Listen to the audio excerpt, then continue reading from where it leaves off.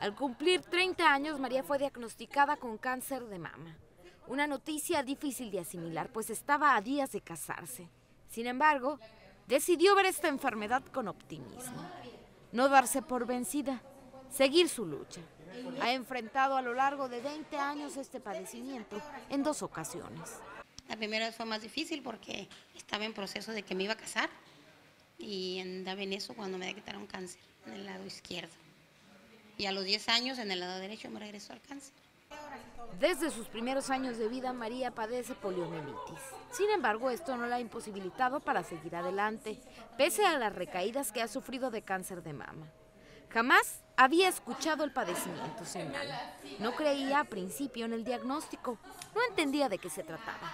Yo hace 20 años no sabía que había cáncer de mama, yo no sabía que existía el cáncer de mama, no conocía a nadie, a nadie, a nadie. El doctor me dice, tienes cáncer. Bueno, el doctor me dijo que era una bolita que posiblemente no era nada, me mandan al cirujano y ahí él me dice en el, cuando me sacó la biopsia que era cáncer. ¿Cómo? ¿Cómo que cáncer? Pues, ¿Cómo?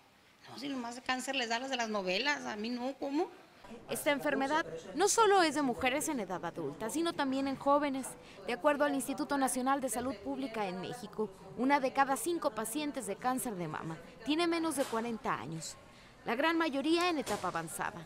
Cada día, ocho mujeres jóvenes son diagnosticadas con este padecimiento.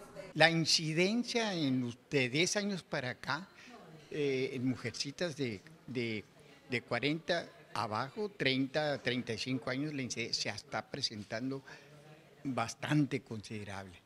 Por eso es muy importante el estudio, la mamografía no tanto porque no nos identifica bien la estructura que debe, pueda estar eh, ocasionando un, un, nódulo, etcétera, sino este, la densidad misma de, del pecho de una mujercita joven de 25 o 30 no nos deja identificar la estructura que está un poco alterada en la mamografía, pero usamos nosotros el ultrasonido mamario. La autoexploración es crucial para detectar cualquier anomalía y ser canalizada a un médico para recibir atención.